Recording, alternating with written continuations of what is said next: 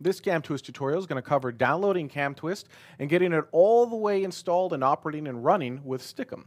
So the first thing we're going to want to do is open up a web browser and go to the official website at www.allocinit.com, A-L-L-O-C-I-N-I-T.com. And on the left side, you'll see a link to CamTwist right over here. We'll click on that and scroll all the way down to the bottom of this page where you can see all the different versions of CamTwist for download.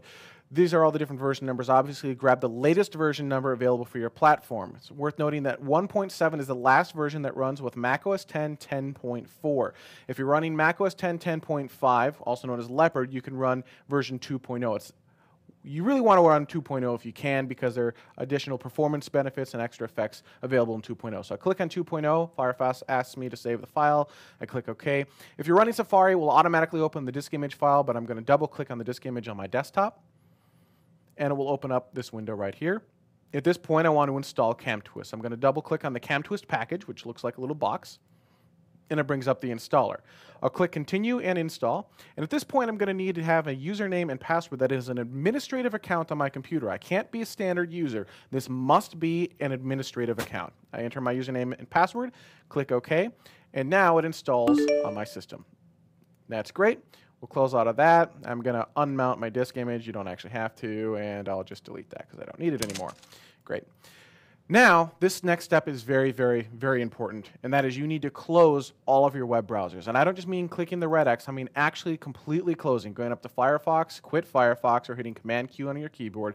Same thing with Safari. Safari, quit Safari. Make sure they're completely closed, they're totally down. If you're in doubt at this point, reboot your computer. Now, before I open my browsers again, I need to open up CamTwist. So I'm going to open up my hard drive. Yours might be named my Macintosh HD. And I'm going to scroll down to my applications directory and find CamTwist and open this up. Keep in mind, my browsers are still closed. CamTwist needs to be opened prior to your browsers being opened up. So, all right, we've opened up CamTwist, and I'm going to open up uh, my preview by going to Tools and Preview or Command P on my keyboard. Black window, that's not very fun. So let's add a webcam. I have the option of adding my desktop, a still slideshow, a movie, your Flickr video. But you know, let's add a webcam. I've got a Logitech webcam. I double click on it and you'll see here I've got my effect webcam and the settings for that webcam. I've got all the different webcams I can choose from on this system. It is a broadcasting computer, so you see I've got a lot of cameras. You may only have one at this point that says something like iSight camera or whatever it says. But I've got a Logitech, so there you go. And you know, this is fun, but it's kind of boring. So let's add some effects. Let's add a bullet hole. So I double click on bullet hole. There we go. And let's add a comic book effect on top of all that. That's a little bit much. Let's get rid of the comic book effect. So I'll go over here and click the little X. Gets rid of the comic book effect. Actually, let's insert something instead. Ooh, a halo. I'll take the halo and the settings for the halo pop up over here. So I'll just move this over here. Yeah, and I'll scale it down a pinch. I'm not. There we go. Perfect. I love it. This is what I want to broadcast. So now I'm going to open up my web browser. We use Firefox, but of course you can use Safari if you want to. And I'm going to go to stickam.com, I'm already logged into my Stickam account. At this stage, if you don't have a Stickam account, you can log or sign up for one, or if you've already got one, go ahead and log in. It will bring you to this screen right here. And I've already completed a good chunk of my profile. And mine didn't load correctly, so I'm going to hit refresh. Go, go, Firefox.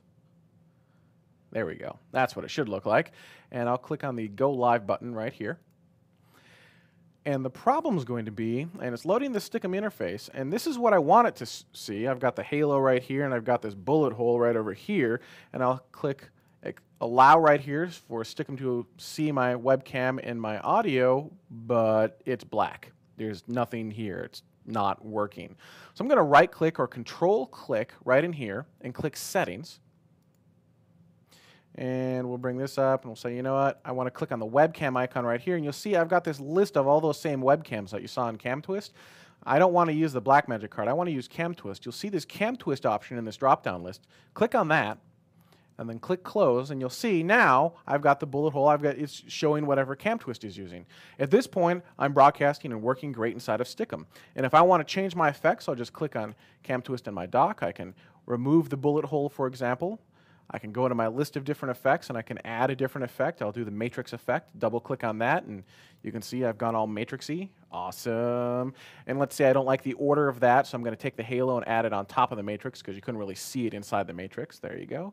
Pretty cool. You know, there's really no need for the halo anymore, so I'll get out of that. And you can kind of see how this all works, and you can play around inside of the CamTwist interface. There are also additional tutorial videos that show you how to use more of this interface if you want to get more advanced. But here are the basics. You're now broadcasting doing this really cool matrix effect on Stickam. And that's all you need to do to get broadcasting with CamTwist.